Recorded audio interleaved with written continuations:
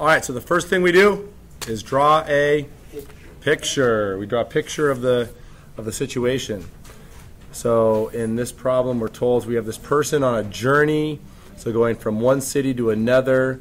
So we'll go, you know, for the first part of the journey, kind of draw like a timeline. So we're told that, um, hey, so speed, notice they're using the word speed, and speed and velocity are oftentimes used interchangeably. Um, here they don't specify a direction, so it makes sense that they use the word speed. I'm just going to write V for velocity because, I don't know, I mean, I guess I could go S for speed, but we'll just use the, uh, the velocity equation.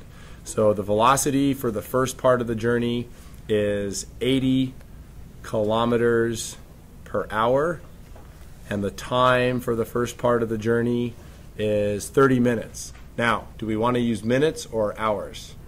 Hours. So 30, 30 minutes is 0.5 hours. Okay? And then as far as the, uh, the distance or you know, the displacement for this first part, it's a question mark. All right, second part of the journey. The person travels with a velocity of 100 kilometers per hour for a time of 12 minutes, and 12 minutes is the same as 0.2 hours. And then the displacement or distance is a uh, question mark if the person's going in a straight line, I'm just making the assumption that these cities are in a, you know, if you drew a line through these cities, it would give you a straight line, which is not a very realistic thing, but it works for the problem. So in that case, I mean, as long as there's no change of direction, distance and displacement are the same. All right, then the last part of the journey, the person travels at 40 kilometers per hour for a time of 45 minutes, which is 0.75 hours. Okay, now, reading this question, in my opinion, question A and question B should be in reverse order because, okay. Uh, how many of you realize this? Like you, you can't get you can't get question B without first, wait, no, you can't get question A without first doing B. So really it should be B, then A. So let's do B first. B wants the distance between the initial and the final cities along the route. So basically we want the total distance traveled by this car. Okay? Can we do this in one calculation or does it have to be multiple? Multiple. What we have to do is find, oops, we got to find uh, this displacement, that displacement, and that displacement. All right, so what's the equation we're going to use to find those displacements? Velocity is equal to displacement over time. So what's displacement equal to?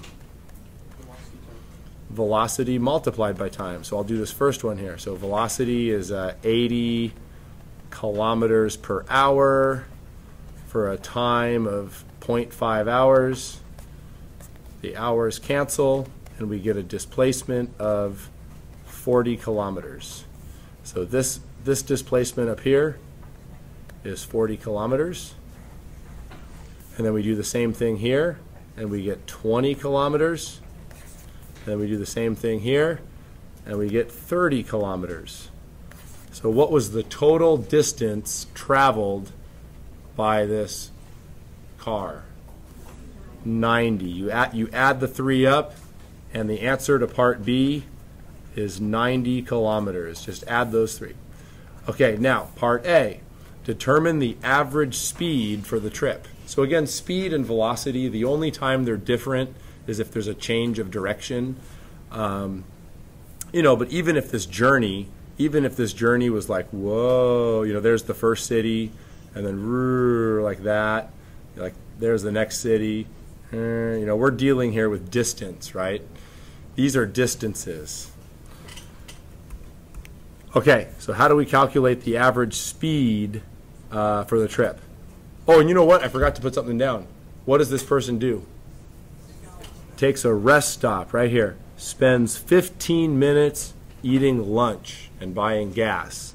So let's put that down as our data. So it, as a part of this, we, we also have a time of rest equal to 15 minutes, which is 0.25 hours. All right, so solving A. The velocity for the whole trip is going to be displacement over time total. I'll put time total. Okay, so our displacement was 90 kilometers. And then the total time, you just add all the times up. And the, when you do that, you get 1.7 hours. When you take, you know, point, 0.25 hours plus 0.75 plus 0.2 plus 0.5, you get 1.7. So this gives us an average velocity of 52.9 kilometers per hour.